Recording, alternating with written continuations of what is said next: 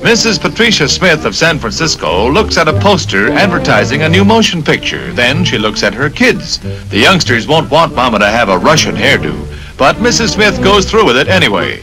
The publicity may further her hopes for an acting career, and also she gets $300 for parting with her strawberry blonde tresses. In the movie A Hair Raiser, Stalin forces a girlfriend to have her head shaved, and Pat finds out what it's like. A wig will keep her warm till her hair grows back. Pat wants to be an actress. We hope she gets ahead.